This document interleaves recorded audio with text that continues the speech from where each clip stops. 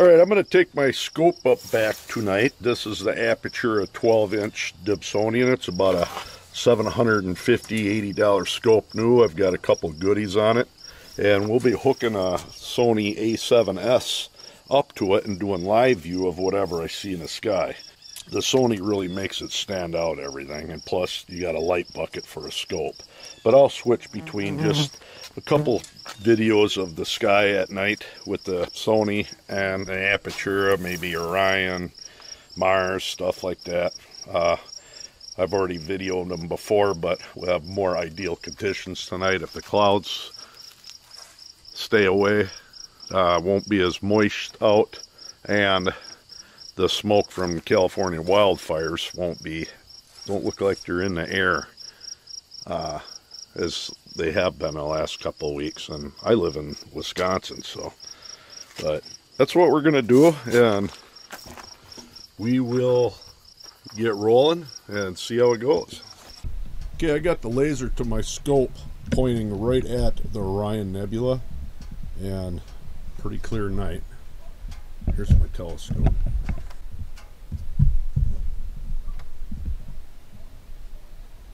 Said I'm out in the middle of nowhere we'll get started.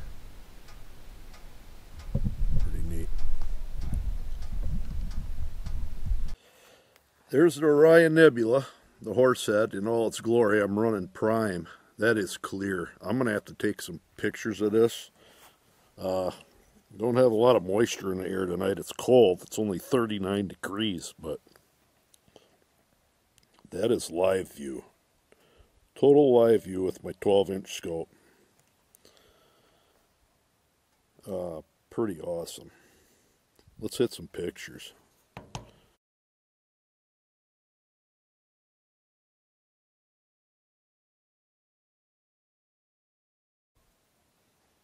So it is quite awesome. I don't know what this group of stars next to it are. Them are pretty neat in itself. Let's uh, swing up to we'll look for something else. There's got the Pleiades. While I'm in prime, we'll hit them. And right there's the Pleiades. We'll hit that again. Very clear. And somewhere is going to be the Andromeda Galaxy. We might have to hunt that one down.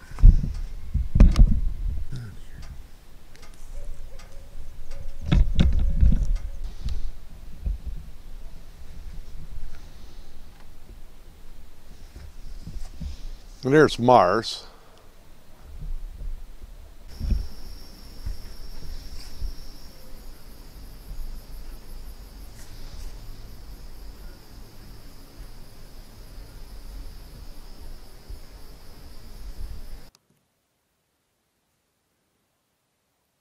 And there's the Pleiades.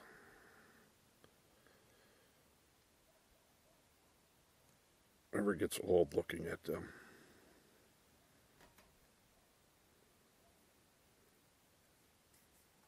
pretty nice.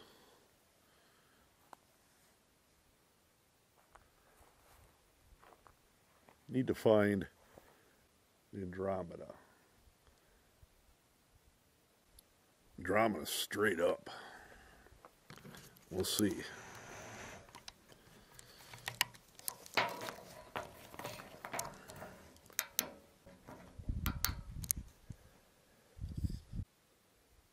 Right there we got a heck of a cluster of stars. trying to find Andromeda, but we hit that. That is pretty neat. That's live view with the video on. Andromeda is like straight, straight up, so it's going to be hard to find. I'm not sure what cluster this is, but look at all them stars. Oh, I found Andromeda. That's live view at prime. I'm running 256,000 ISO though. ISO. Let's turn that down. That's pretty neat. I'm going to try to take a couple pictures.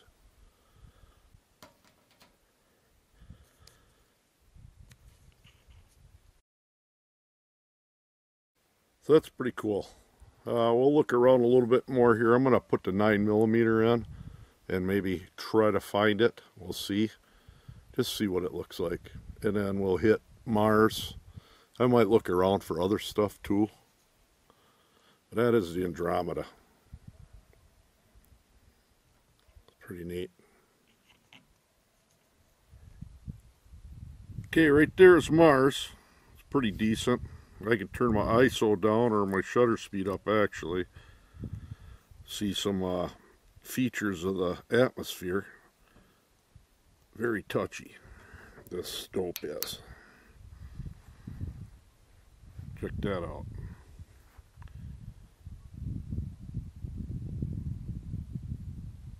Zooming across, and that is Mars with a 9 millimeter in.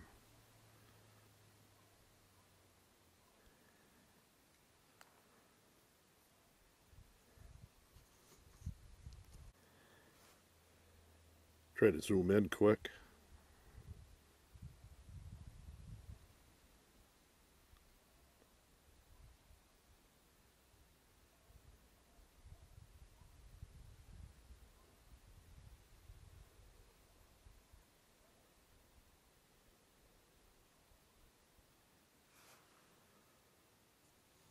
Pretty neat.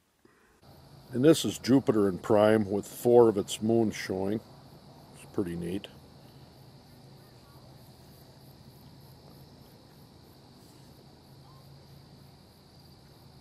Full video mode, 64,000 ISO.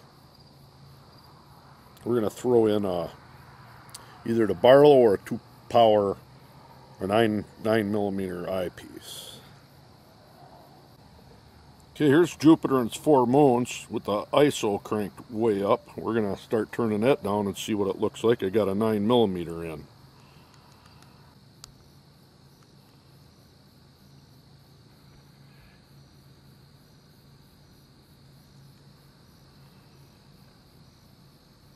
Pretty sure you can see a moon in front of it. I'm going to turn my crop mode on so I can see better. There's Jupiter. Crop mode on.